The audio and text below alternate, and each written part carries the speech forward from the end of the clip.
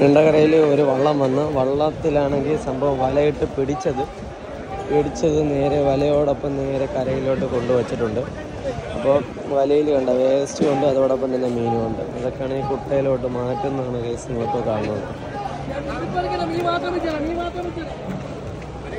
ഓരോന്നായിട്ട് നാട്ടിൽ ഇതുപോലെ എടുത്തിട്ടുണ്ടായിരിക്കും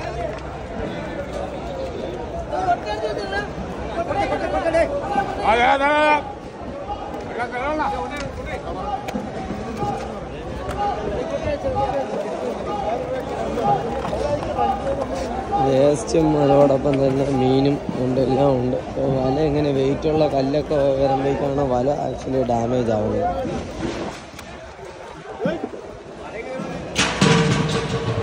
വല കയറാത്ത രീതിയിൽ വല കയറാത്ത രീതിയിൽ മീൻ എടുക്കണം.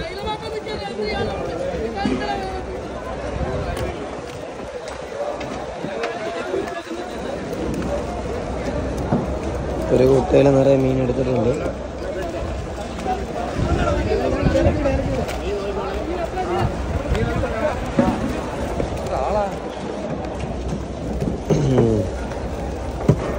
വെള്ളത്തിൽ നിന്ന് ഇപ്പം സംഭവം പിടിച്ചപ്പോൾ തന്നെ വെള്ളം വലയിലൊക്കെ ആണെങ്കിൽ മീനുണ്ട്. മീനും ചെളിയും എല്ലാം കൂടെ ചേർന്നതാണ്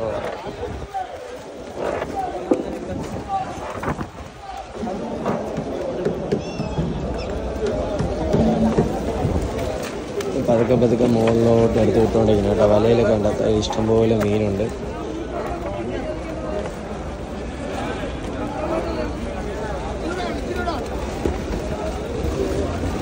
പുള്ളി ചെളിയും സംഭവങ്ങളൊക്കെ ആയതുകൊണ്ട് വലയൊക്കെ പൊട്ടാനുള്ള സാധ്യത ഉണ്ട്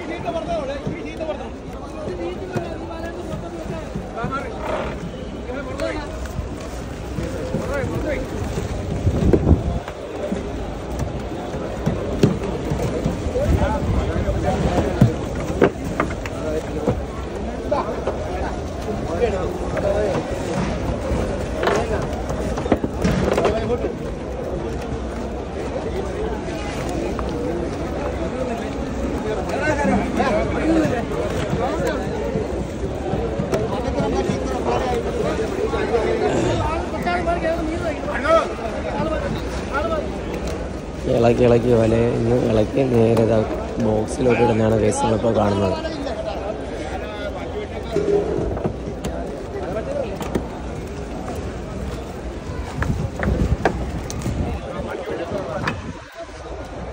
ഇതുപോലെ തന്നെയാണ് ഇതുപോലുള്ള വള്ളങ്ങളിൽ വരുന്നത് മീനും പിടിക്കുന്നത് കേസ് വീഡിയോ ഒന്ന് മാക്സിമം ഒന്ന് ഷെയർ ചെയ്യുക. ഇത് ഇവിടെ നമുക്ക് വാങ്ങിക്കാൻ നല്ല ഫ്രഷ് മീൻ. പക്ഷേ ലേലത്തിനെ പോകുള്ളൂ പക്ഷേ ഇത് ലേലത്തിനെ വിളിച്ച് കഴിഞ്ഞാൽ നമുക്ക് ഷുവറായിട്ട് പറയാം ഇത് ഫ്രഷ് ആണെന്നുള്ളത്.